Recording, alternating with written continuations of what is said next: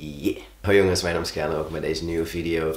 Vandaag wilde ik mijn zes maanden post-op video maken, maar toen kwam ik erachter dat het al acht maanden geleden is dat ik ben geopereerd aan mijn titties. Ik ben geopereerd bij dokter Van Loenen in het Alexander Monroe ziekenhuis in Beeldhoven. Het was een goede ervaring. Als je de hele experience wil zien, verwijs ik je door naar mijn top surgery vlog.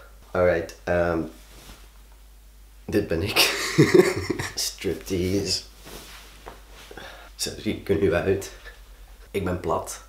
Daar ben ik blij mee. Het is precies wat ik wenste eigenlijk. Het is precies hoe ik mezelf zou willen zien voor de operatie. Mijn littekens zijn wel een beetje gestretched, maar niet extreem. Behalve aan deze kant, maar dit was al in de eerste twee weken na mijn operatie gebeurd. Iets met de hechtingen waren losgekomen zo. Ik weet niet precies wat er is gebeurd, maar daar had ik niet zoveel invloed op. De rest wel. Je ziet hier een heel klein beetje dat het iets breder is dan hier bijvoorbeeld. Dat komt omdat ik drie maanden na mijn operatie dacht: het is tijd om te werken.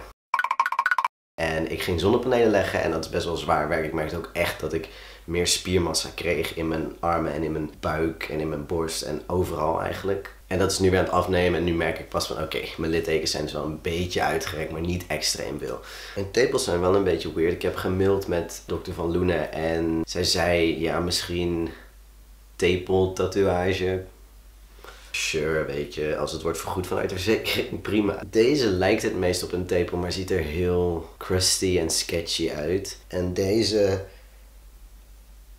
lijkt minder op een tepel, maar ziet er ook minder crusty en sketchy uit. Ik heb geen gevoel in mijn tepels. Heb ik dat nodig? Ook niet echt. Ze zeggen dat je je littekens moet masseren en dat je speciale crèmes ervoor kan gebruiken. En littekencrème en vitamine E en oliën en speciale maskers. Ik heb daar geld aan uitgegeven.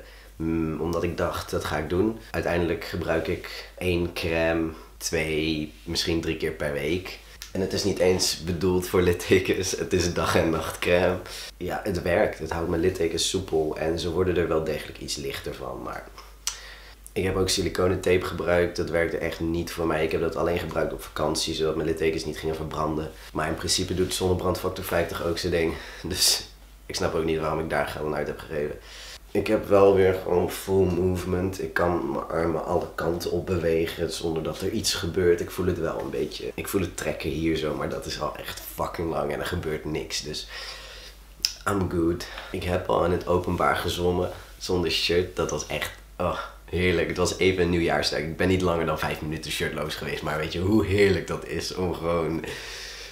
En de zon was niet zo fel, dus ik hoefde ook niet na te denken over mijn littekens. En oh, dat...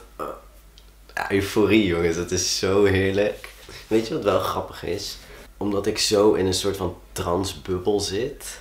Ik weet niet of ik het zo kan noemen, maar ik zit wel in een soort van transbubbel dat ik op social media best wel veel en best wel vaak foto's van transmannen voorbij zie komen, posten op die dan littekens hebben. Dat is zo ingeprent in mijn brein, dat is zo genormaliseerd voor mij. Als ik zes mannen shirtloos zie, dan denk ik, waar fuck zijn jouw littekens? En dan pas denk ik, oh wacht.